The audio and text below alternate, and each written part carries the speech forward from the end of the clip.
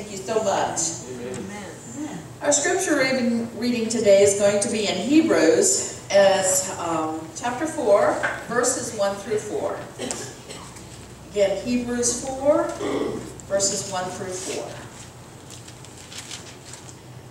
Therefore, since a promise remains of entering his rest, let us fear lest any of you seem to have come short of it. For indeed the gospel was preached to us as well as to them. But the word which they heard did not profit them, not being mixed with faith in those who heard it. For we who have believed do enter that rest, as he has said. So I swore in my wrath, they shall not enter my rest, although the works were finished from the foundation of the world. For he has spoken in a certain place of the seventh day in this way.